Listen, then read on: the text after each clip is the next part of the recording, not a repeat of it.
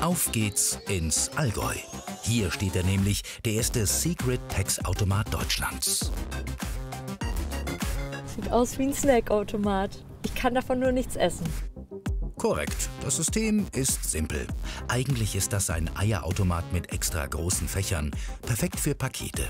Den Fixpreis von 8 Euro kennt der Automat. Nummer wählen und voilà. Handtasche. Waren die AirPods drin? Zweimal? Was?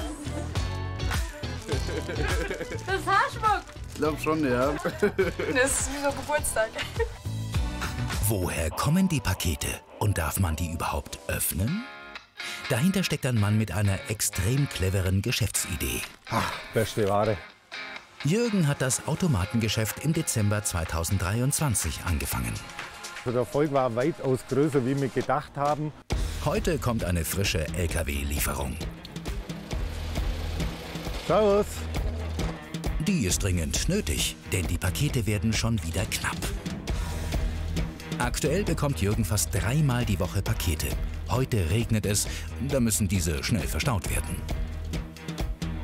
Bringen wir jetzt die heiße Ware ins Lager. Lagerhalle oder eher Scheune? Wir haben jetzt irgendwie was anderes erwartet. Es musste schnell gehen, die Menge wurde immer mehr, darum dieses Behilfslager. Die 1200 Pakete sind verstaut. Aber wo kommen die her? Meine Großhändler sind in Deutschland, aber auch europaweit. Amazon, DHL und Co. verkaufen die Pakete an Großhändler. Da bestellt Jürgen dann seine Ware, palettenweise. Das ist möglich, weil allein die Deutschen 56 Prozent ihrer Pakete zurückschicken. Ein Retouren-Imperium. Gekauft wird nach Gewicht. 5,50 Euro für 1 Kilo DHL-Pakete. Mindestabnahme 250 Kilogramm. Aber darf Jürgen überhaupt Retouren weiterverkaufen? Ja, Secret Packs sind Pakete, die den Kunden nicht erreichen konnten, aufgrund eines Zustellungsfehlers. Liegt die Schuld beim Kunden, weil die Adresse nicht stimmt, hat er Pech gehabt. Liegt die Schuld beim Zusteller, gibt es natürlich Geld zurück. Was dann mit dem Päckchen passiert, hängt vom Auslieferer ab. Der verkauft sie dann an Großhändler. Das ist wie beim Fundbüro, wenn niemand danach sucht. Die Adressen müssen unkenntlich sein, bevor sie an einen neuen Käufer gehen. Datenschutz ist enorm wichtig. Dann landen sie bei Jürgen im Automaten. Ja gut, die 1200 Pakete, ich denke, da kommen wir so eine Woche ungefähr kommen wir durch. Wir haben das mal gegengerechnet. Bei einem Fixpreis von 8 Euro pro Paket und 1200 verkauften Paketen innerhalb einer Woche macht das 9600 Euro. Ziehen wir davon die 6600 Euro Einkaufspreis ab, bleiben 3000 Euro Gewinn jede Woche. Aber wieso machst du die Pakete nicht auf und verdienst so noch mehr? Warum ich das nicht mache, ganz klar, das ist einfach eine zeitliche Geschichte. Ja, das neue Handy oder die teure Uhr können auch mal dabei sein, aber alle Pakete öffnen, auf Wert und Schäden checken, weiterverkaufen, das kostet viel Zeit. In einem Automaten stecken ist deutlich einfacher. Aber was braucht es dazu? Durchhaltevermögen und die richtigen Händler bzw. Kontakte, das sind die wichtigsten Sachen. Ich habe auch schon Paletten gekauft. Puh, da haben wir wirklich ganz, ganz schwer schlucken müssen. Jürgen hat sich das selbst beigebracht. Er ist eigentlich Abteilungsleiter einer Molkerei, sieht aber eine Chance im Retourenverkauf. Die Idee, einen Eierautomaten für Pakete umzubauen, kam ihm eines Abends auf der Couch. Die Regionalautomaten gibt es schließlich überall und haben die ideale Fächergröße. Darum muss man da wirklich, wenn man da einsteigt, andere Händler zum Beispiel fragen, wo sie zum Beispiel kaufen, wer hat die gute Ware, wo passt das preislich dann natürlich auch. Der Secret Packs Automat scheint eine richtige Geldmaschine zu sein. Deshalb bekommt er Zuwachs. Hier kommt der zweite Automat. Haben wir 1000 Packungen heiße Ware dabei, Automaten aufgeladen und dann geht's ab über Berg und Tal. Die Familie packt mit an. Tatjana, seine Frau, ist am Start. Volle Vorfreude. Niemals äh, hätte ich damit gerechnet, dass das so durch die Decke geht. Und wir sind total überwältigt. Bisschen überfordert. Auch der Schwiegerpapa. Die wichtigsten Werkzeuge ist einmal das Cuttermesser und natürlich das Telefon. Alles klar, gut, bis dann. Läuft. Sorry, ja, irgendwie geworden. Das sind Sachen, wo passieren, ja. Und hier soll der Automat hin. Aber warum an diesem abgelegenen Bauernhof? Der muss nicht an der Hauptstraße stehen. Das ist ein Highlight. Das gibt es nur hier. Das gehört da einfach mit dazu. Weil die Leute gehen den Kompromiss ein, da mal 10 Kilometer, 20, 50 Kilometer zum Fahren. Amazon, DHL, Hermes. Es ist alles dabei. Die meisten Kunden stehen natürlich auf große Pakete. Aber das hat oft nichts zum Sagen. Wir haben am Wochenende einen da gehabt, der hat das aufgemacht. Äh, der will jetzt zum Juwelier gehen und möchte es überprüfen lassen. Er sagt, er hat Goldkette rausgebracht. Jürgens Geheimtipp: DHL-Pakete statt Amazon. An dem Paket hier könnte jetzt zum Beispiel eine Decke drin sein. Kann aber ganz was anderes sein.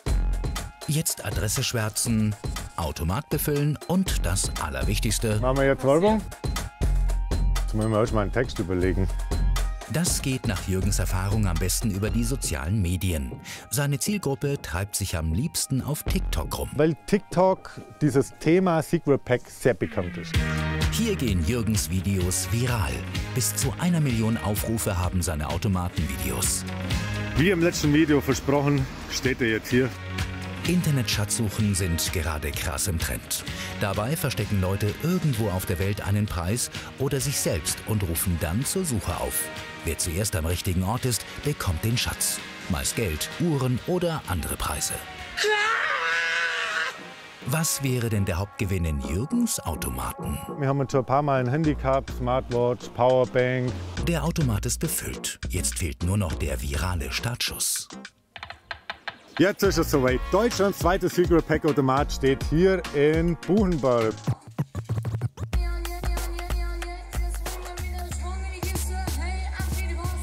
Steht hier den Berg rauf und ihr seht, Galileo ist auch noch mit dabei.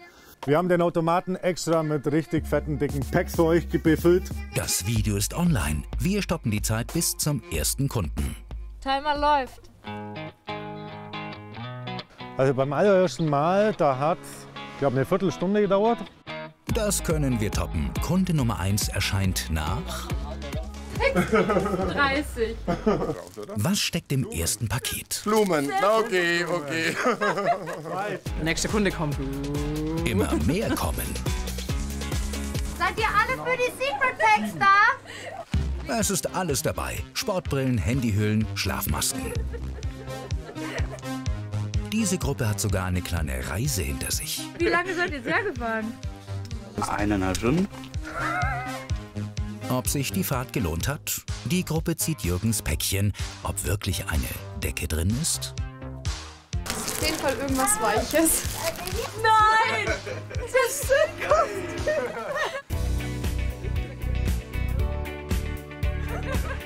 Also ich würde sagen, es hat auf jeden Fall gelohnt. Schlange wächst. Jetzt müssen wir schnell sein. Sollen wir uns auch mal anstellen? Vielleicht habe ich Glück. Erstes ist für Eimann. Dann das Team. Was zieht Reporterin Sabrina aus dem Paket? Duschkopf? Noch mehr Duschköpfe für den Wasserhahn. Ja! Auf einer Online-Plattform gibt es die gleichen Handbrausen für 23 Euro. Gib mir, gib, gib, gib mir. Kameramann Paul kriegt natürlich auch ein Paket.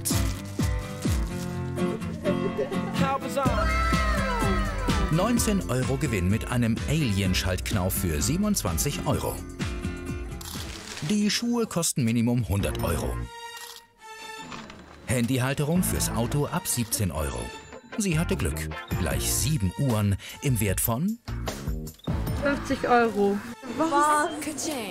Uns fällt auf, dass bei vielen Paketen drei oder mehr gleiche Produkte drin sind. Das kennt man ja. Wer bestellt nicht gerne mehrere Optionen, um sich dann für eine zu entscheiden? Oft sind es aber auch Sachen, die man nicht braucht. Schade. Die zwei haben Samsung statt iPhone-Handyhüllen bekommen, aber die kann man ja verkaufen. Die Eröffnung läuft super. Viermal musste Jürgen den Automaten heute nachfüllen. Sind noch mehr Standorte geplant? Natürlich sind wir dran, mit diesem Franchise-Konzept irgendwo dann weitere Standorte aufzubauen. Eine clevere Geschäftsidee. Doch eine Frage gibt's noch. Was bekommt Eimann? Ich habe ja vorhin ein Secret Pack bekommen. Darum ging es ja in unserem Beitrag am Anfang der Sendung. Hat unser Team mitgebracht und äh, man weiß nicht, was drin ist, wenn man es kauft. Ich habe es schon mal aufgerissen und jetzt schauen wir mal gemeinsam rein, was da drin ist. Okay, also keine Elektronik, aber offenbar drei Tablet-Hüllen.